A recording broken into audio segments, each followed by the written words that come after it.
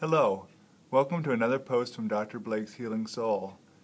Today I'm presenting this short video just to show the effectiveness of the Denton modification in controlling supination.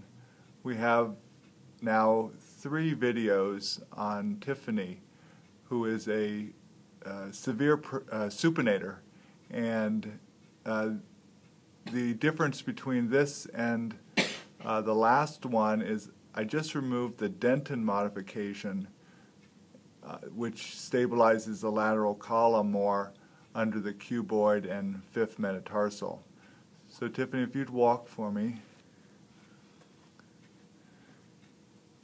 You can see as Tiffany walks that there's, even though she has very highly corrected orthotics on, there's still a little drift of her body to the outside. It's not a complete stabilizing that we got when she had the Denton modification in.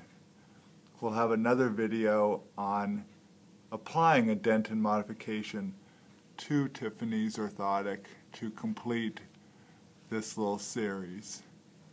See how as she lands when she had the Denton modification on, she, she landed on the ground and pronated her foot in. And we don't see that now. We see pretty much a little bit of a lateral drift to her foot.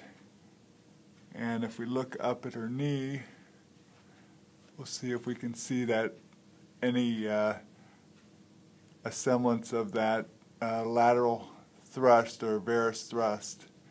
And actually the knees look fairly stable still. All right, thank you very much, Tiffany.